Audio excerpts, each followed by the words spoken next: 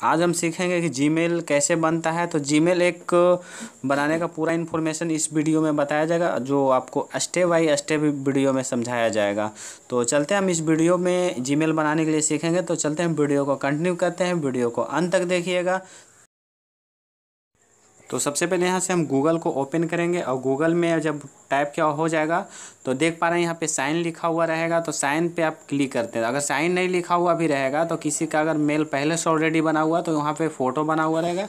तो यहाँ पे देख पा रहे हैं कि और इस पर हम आके क्लिक करते हैं किसी का मेल पे तो नीचे में सबसे पहले आप देख पा रहे हैं कि लिखा हुआ रहेगा यू यूज़ अदर अकाउंट लिखा हुआ रहेगा।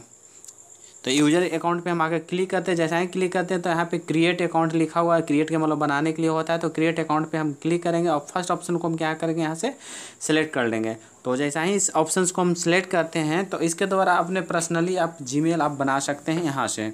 तो चलते इस पर हम क्लिक करते हैं और उसके बाद देख पा रहे हैं कि फ़र्स्ट में आपका फ़र्स्ट नेम दिखा रहा है और सेकंड वाले लास्ट में नाम दिखा रहा है। तो फ़र्स्ट नेम यहाँ पे हम यहाँ पे टाइप कर लेते हैं। तो चलते हैं, नाम को फिल करते हैं। तो स्टेप बाय स्टेप हम यहाँ पे फिल करते हैं। तो यहाँ पे चलिए, नाम टाइप हम कर लेते हैं और लास्ट नेम भी टाइप कर लेते हैं। और नीचे में आपके जो भी आप जी बनाना चाहते हैं, वो जी का आपको लिखना पड़ेगा। अब एट द रेट छोड़ के जो भी आप जी आप देना चाहते हैं, क्योंकि ऑलरेडी यहाँ पे जी में at the rate Gmail dot com लिखा हुआ रहता है। इसलिए आपको जो भी बनाना चाहते हैं वहाँ पे बनाइए।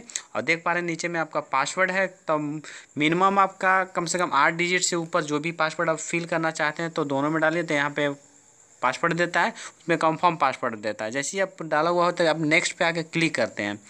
तो जैसा ही नेक्स्ट पे क्लिक करते हैं, वहाँ पे मोबाइल नंबर सर्च करने के लिए आप जो भी नंबर देना चाह रहे हो उस पर तो उस नंबर को यहाँ पे क्या फिल करेंगे। क्योंकि उस पर ओ आपको सेंड किया जाएगा, और कभी भी मान लिया जाए कि अगर मेल आपको दो साल या चार साल के बाद भी आप खोलना चाहते हैं तो इस पर वेरीफिकेशन के लिए आपको मांगेगा जो मोबाइल नंबर पर मैसेज करता है। तो यहाँ पर डेट ऑफ़ बर्थ फिल कर लेते हैं। तो डेट ऑफ़ बर्थ यहाँ पर फिल करते हैं। और जब फिल किया हुआ हो जाएगा तो नीचे देख पाएँगे जेंडर है।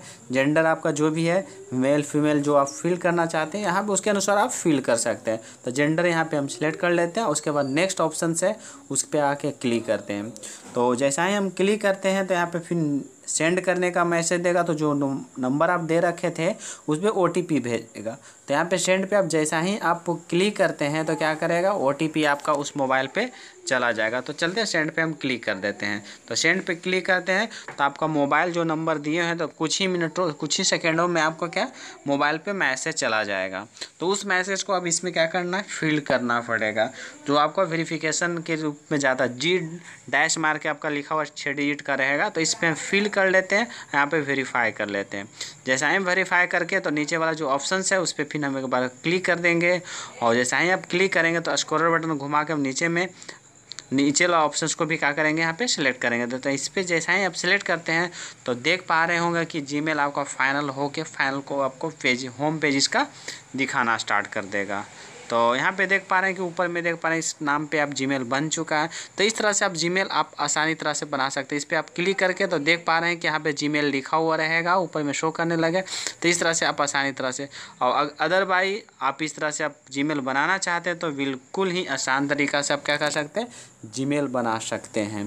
तो आई होप आपको वीडियो अगर पसंद आए तो वीडियो को लाइक करें कमेंट करें एंड सब्सक्राइब करना ना भूलें। तो मिलते हैं आप लोग से नेक्स्ट वीडियो में। तब तक के लिए बाय